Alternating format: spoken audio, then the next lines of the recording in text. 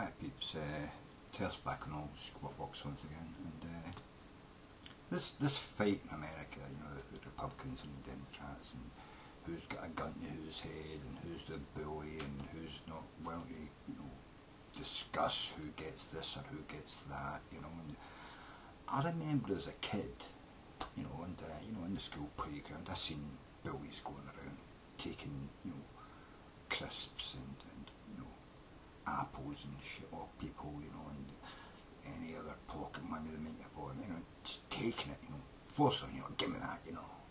And, uh, you know, they come to me and then I'd say, fuck off, you know. You're not getting my fucking crisps. And they'd try to take it off me and I'd fucking fight. And it would end up with the crisps being on the ground, trampled, you know, one or two of us we, with you know, a bruised eye or whatever. But they never got my crisps and they eventually stopped not coming up to me and asking because they knew, oh, they never got the crisps and they got a sore face, you know. And uh, eventually, of people I've seen them take that, eventually we gravitated towards each other and I told them the same simple fact. If you're just going to give them it because you're scared, they're going to keep coming back and taking it. Eventually you've got to stand up, even if you get a bloody nose or a sore face, you know.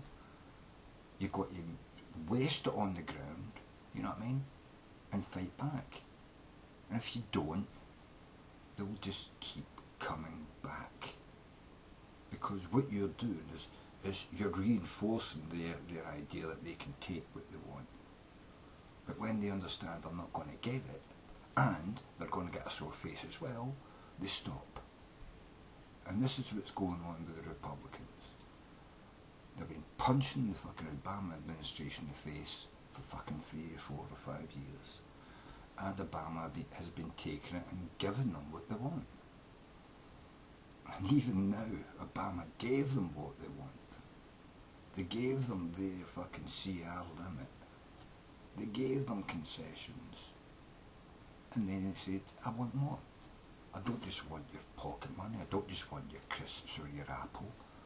I want your fucking sneakers and I want your watch your mum gave you for your birthday, you know what I mean? I want that hat your dad gave you as well, that he got off, you know, signed off a base, baseball fucking, you know, hero, you know. That, you, you got to reach somewhere where you say, fuck this, I've had enough. I've fucking had enough, you know. You got to turn around to the bill and say, fuck you. You're going to stomp me, stomp me, I'll stomp you back. Going to try and take my fucking crisps, I will stamp them into the ground and crush them and kick them all over the fucking ground so you can't eat them. They're not getting any more. Scorched earth? Fucking right, scorched earth. You're getting nothing. Nothing. And that's the only way to deal with a bully. Because eventually when he realises he's not getting what he wants, he can go and cry in a fucking corner, you know what I mean? Boo-hoo you didn't get what you wanted. Tough shit, you know? But at least after they realise that, he stopped being a bully. The GOP has bullied America long enough. It's time for America to stand up for itself and turn around and say, no, you've had your fucking, you know, your rampage. It's over. It's fucking over we've got to start looking at the world as a better place than the shit you're going to drag us into, you know what I mean? And all those people in America who supposedly support the GOP, I think it's what, 29% of the country. And that's not certain. Could be less, 22%, 19% I've heard, you know. Uh, yeah. Is the rest of the country going to sit back and be cowards and sheep and scared of the bully? Are you going to gang up on the bully and tell the bully to fuck off? That's where you're at in America. You're at the stage of playground kids who've been bullied for years, suddenly realising, do you know what? I'm not the fucking eight-year-old kid they bullied now. I'm fucking 12, I'm 13, I'm 14. I've built muscles myself. I've grown, I've got stronger, and I'm going to fight the bully. Next time he comes round and asks me for money, I'm going to say, no, give me your fucking money, you prick, and punch him in the fucking face. That's what I'm going to fucking do. And if Ibdi did it, that 29%, that 22%, that 19% would sit down in the corner and cry their fucking eyes out.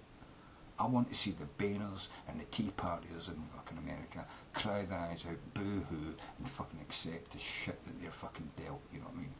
Accept the poker hand you're dealt, motherfucker. Stop trying to change the rules. Stop shifting the fucking goalposts. Accept democracy and shut the fuck up. That's democracy. Majority rules. Not the minority of some stupid majority that doesn't exist. Majority rules. The 87% of Americans, you know, in America who, who want health care, the 87% of Americans who want the Republicans to stop this stupid, fucktarded crisis after crisis that they make up. Stop listening to the fucktarded crazy shit that you hear on fucking right-wing TV, uh, eh, religious fucking broadcasts and Fox News. Because it's not going to get you anywhere. It's only going to lead you down the road of eventually people standing up and punching you in the fucking nose. And I hope the American people will do that now. Because this is crunch time. You know what I mean? The playbill is wrong, you're out in the playground now, there's no adults around, and it's just use kids together. And the kids that have been bullied need to stand up to the bullies and punch them back. Kick them in the balls, punch them in the face, and dip their pocket. Take all the shit back off them they took off you. You know what I mean? Yeah, there's a lot of different analogies in there, but there's two. That's what you need to fucking do, man. If you're going to stand up in the world and be that great nation you were before, you need to tell the school bully to sit in his ass and fuck off, you know what I mean? Go away. And by the way, before you go away, give me all that shit you took off me. Give me all that crap in your pocket that's mine, you prick. That's what you've got to do.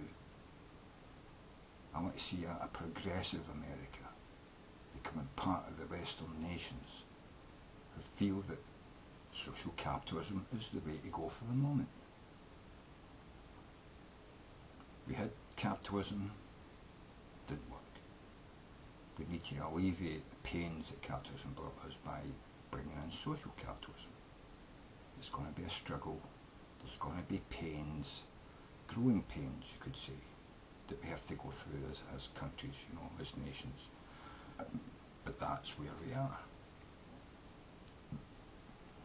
I'd like to say slàinte mhath, but my glass is empty. Anyway.